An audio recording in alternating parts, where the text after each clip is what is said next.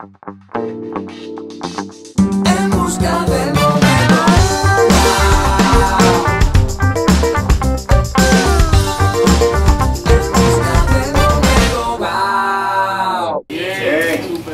me encanta.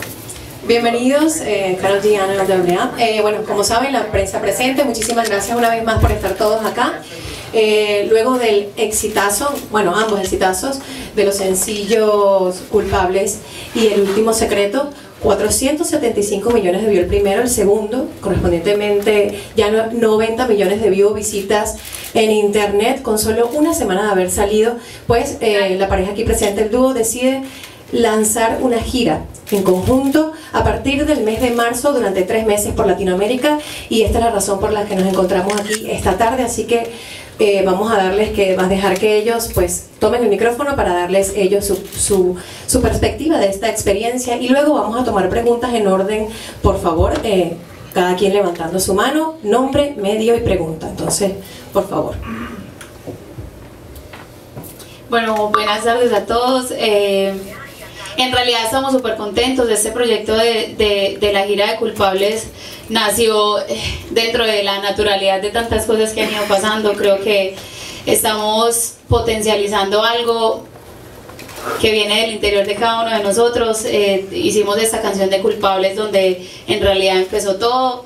Eh, empezaron a pasar cosas súper increíbles, la canción fue todo un éxito y pues sacamos esta segunda secretos, secreto que, que está todavía rompiendo más con, con lo que teníamos pensado. Armamos algo súper lindo, esta gira de culpables creo que la gente se va a sorprender de lo que estamos planeando.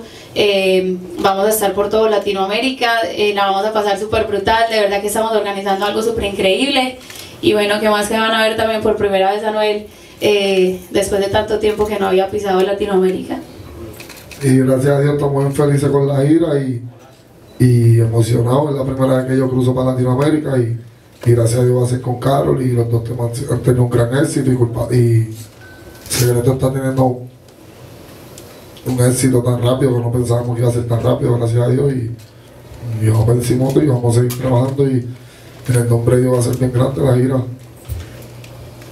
Claro que sí, ahora comenzamos la ronda de preguntas, por favor, quienes eh, quieran participar, levanten la mano para hacer alguna pregunta. Ok. Eh, el medio que vienes y la pregunta. Primero que nada, eh, felicitaciones por todo. Eh, mi nombre es Luis, estoy como otra fiesta, canal de música, tenemos el video dándole full. Eh, es una pregunta compuesta. La primera quería hacer, eh, viendo pues el video de secreto, veo pues la relación de ustedes es súper divertida. Y él es súper romántico contigo, entonces quería saber qué es lo más romántico que ha hecho para ti. Y segundo, ya que se van de gira, quería saber si va a compartir el camerino o si cada quien va a tener el suyo. Eh, a ver. Sí, está súper buena esa pregunta. Pues yo creo, no sé, mi manager que vamos a estar, no, obviamente yo creo que pues desde un principio hemos compartido todo eh, juntos, o sea, camerinos separados por el hecho de que seamos dos artistas, pues lo bueno es que, que a pesar de que somos dos, dos compañías, dos artistas, eh, lo lindo es que todo ha sido como que súper juntos de verdad desde el principio. Él es súper romántico, sí, es súper romántico, sí, pasamos súper rico también dentro de... Yo creo que esa fue una de las ideas de hacer la gira de culpables, fue como que cómo hacemos que tanto trabajo podamos pasar más rico de lo que pasamos. Tanto trabajo y separado por, por la gira, las diferencias, digamos, hacer una gira juntos. Literal, cuando estamos separados es bien complicado, así que eh, vamos a estar en esta gira y creo que si ustedes vieron que en secreto la pasamos brutal, yo creo que ahora sí vamos a hacer un documental de lo bueno que pasamos juntos. Siguiente pregunta, nombre y medio. Soy Jennifer de Mezcalit, ¿cómo estás? Oye, quiero saber qué es lo que te conquistó de Anuel. Porque me acuerdo que en la entrevista que, yo te hice, tú estabas como que le habías convencido de para qué había que decir cosas tan así, ya está. Pero luego resulta que surgió algo más. A ver, bueno, no, eh, cuando yo conocí a Anuel, pues tenía las expectativas que yo creo que tiene todo el mundo cuando cree que va a conocer a Anuel, eh, una persona no mala, sino de pronto de una personalidad pues fuerte.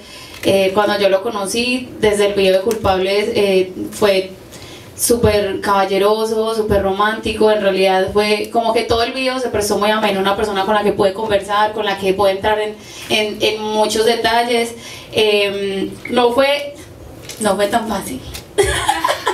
no, en realidad este, al principio fue como que no, tanto trabajo y tanta cosa, no, no nos damos mucho la oportunidad, pero siempre hubo buenas conversaciones, eh, mucho tema de qué hablar. Digamos que si hablo de algo en específico que me conquistó, yo creo que me siento honrada de conocer algo que no muchas personas conocen y me atrevo a decir que muy el círculo cerrado de eso conoce quién en realidad es él y es una persona de un corazón gigantesco, eh, de verdad una persona con la que uno se sienta a conversar súper agradable, es súper romántico, es extremadamente super, hiper, mega pleido, buen novio, exagerado, o sea, no le puedo pedir nada más a la vida en ese momento y ya me siento súper feliz.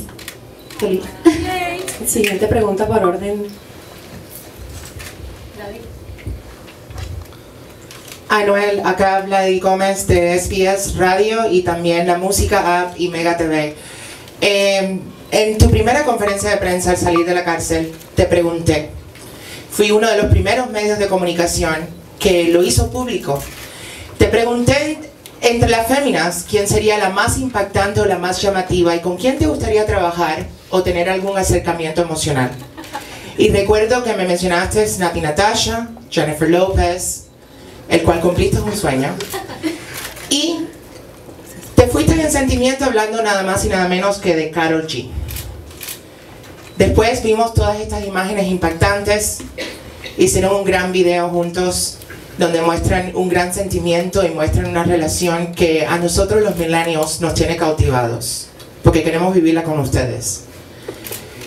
¿Qué ha cambiado de ese Anuel que esa pregunta que te hice en ese momento a este Anuel que está al lado de Karol G? Si yo me acuerdo bien, me preguntaste musicalmente, no emocionalmente. Emocionalmente también, porque todas las mujeres llamativas. También me acuerdo de esa entrevista. Sí. y, y dije Nati porque teníamos planes ya de un tema que se iba a hacer con ella, pero que no sé, nunca se terminó haciendo y hasta que decidí hacer una colaboración con, con una mujer y hablé con, con mi manejador y, pues le pregunté por Carol, pues escuché, que Carol le gustaba grabar mucho trap y para mí sinceramente la única mujer así que hace trap y se escucha bien es Carol y pues y mi manejador medio que ya siempre estuvo pendiente, el equipo de trabajo de ella para hacer un tema de que yo estaba preso y, y pues ya con eso me tomó la interés y, y, terminamos haciendo el tema. Y cuando la conocí, pues, es tremendo. verdad el corazón que tiene Caro es bien puro y nunca había conocido así una persona como ella y, y pues por eso es que yo soy así con ella. Gracias. Siguiente pregunta. María Isabel de la W Radio, esta es para Carol. En la alfombra roja de los Latin Grammys dijiste que la relación era una campaña publicitaria, pero como a los cinco días los vimos dándose un beso en el concierto de Nueva York. ¿Qué cambió en esos días? Bueno, primero no dije que la relación era una campaña publicitaria, dije todo lo que armamos con culpables, las primeras fotos y lo primero que pusimos fue mostrándole a la gente algo personal para que la gente se enamorara de la canción como nosotros estábamos enamorados. Obviamente cuando la gente empezó con las especulaciones de si éramos novios o no, que en realidad ahora la gente dice que yo lo negaba o cualquier cosa así, no era que lo negara o no, o sea, en el momento en que para ambos fuera eh, una decisión tomada hacerlo público, pues yo tenía que respetar eso y mientras no fuera posible, pues obviamente íbamos a negarlo hasta el final. Eh, eso fue eso fue lo que pasó. Yo sé que al otro día los Latin Grammy fue ese beso, pero era como que algo que ya nacía tan del corazón, que era la primera vez que yo cantaba en un concierto de él, él había cantado en un concierto mío. Eh, el concierto fue sold out, fue un sold out de tres que tuvo en Nueva York. Eh, ese día fue el primero que yo pude acompañarlo en realidad y, vivir su emoción y cómo estaba de feliz y, y verse eh, tan superado. Yo no sé, yo me sentía súper orgullosa y esa noche fue especial. Yo creo que fue algo que ni siquiera en escenario pudimos contener y ya fue del día donde todo se supo, pero en realidad no fue ni siquiera planeado. Fue como que yo me bajé y dije, no sé, la cagué, la embarré, no sé qué hice, pero salió y ya, ya se fue. Siguiente pregunta. Elisa. Bella Carol, hola Noel, ¿cómo están? Eh, quisiera saber si ahora que van de gira juntos, quizás aprovechen esa plataforma, esos escenarios a Noel para que le propongas matrimonio. Uy, siente la bestia. No creo que sea un escenario, pero va a ser, sería algo más lindo y mucho más grande que hacerlo un escenario. Eso es algo más personal. El anillo para cuándo? Siguiente ¿te pregunta. gustaría- ¿Te gustaría que te propusiera matrimonio? No sé, es que ver, estamos pasando súper rico, estamos súper felices, hemos hablado de todo, de, en realidad hemos hablado de todo, pero creo que hace, no sé, parte de lo rico es vivir el proceso. Y aunque hemos hablado de muchas cosas y que estamos súper felices, creo que no, no, decir en este momento que sí es como decirle, oiga, propóngame matrimonio, entonces no, no. Él sabe muchas cosas. Gracias. Siguiente pregunta. Aquí levantaron la mano. Hola, por aquí Barbie con Press Pass Latino. Eh, ¿Cuáles son algunas de las locaciones que van a ir de tour en Sudamérica y van a presentarse aquí en los Estados Unidos también? Hasta el día de hoy no tenemos un acuerdo para Estados Unidos, los dos acabamos de terminar la gira independientemente aquí en Estados Unidos y pues literalmente vamos toda Latinoamérica. Ya las fechas se terminaron, pero contigo eso siempre siguen añadiéndose para hacer una gira bien grande y vamos a empezar en Colombia la gira, el 15, el 15 de marzo y, y de ahí partimos, pero por toda Latinoamérica. La gira va hasta el 31 de mayo y, y si bien ahora tenemos como muchos países ya organizados, no queremos decir en realidad en cuáles específicamente vamos a estar porque pues todo está abierto y se está trabajando para multiplicarla y multiplicarla y hacerla en todas partes.